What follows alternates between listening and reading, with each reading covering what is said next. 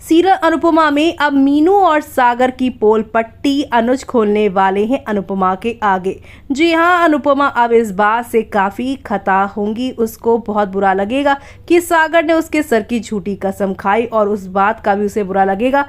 कि अनुज हो या आध्या या फिर बाला काका घर के और शाह परिवार में सबसे पहले वनराज ने इसके बारे में बताया था, लेकिन उसने किसी के भी बारे में यहाँ पर जो है नहीं समझा। सही वो मीनू और सागर की बातों पर ही यकीन करती नज़र आई, लेकिन अब मीनू की माफ़ी हो या सागर का, यहाँ पर दंडवत प्रणाम किसी को भी, यहाँ पर आप सभी की अनुपमा जो है, यहाँ माफ़ नहीं करने वाली। वो कहेंगी कि मेरे साथ ही ये क्यों होता है? मैं जिनको ममता देती हूँ। वही मुझे छोड़कर क्यों चले जाते हैं? जी हाँ एक तरफ़ जहाँ ये सब होगा तो वहीं दूसरी तरफ़ शो में अनुज अनुपमा का रोमांस भी दिखाया जा रहा है। ऐसे में अब यहाँ पर अनुपमा ये कहेंगी कि वनराज शाह जो किया, वो ठीक किया? तो वहीं यहाँ पर वो आध्या से भी नाराज़ होंगी कि बातें नहीं बताई उसने।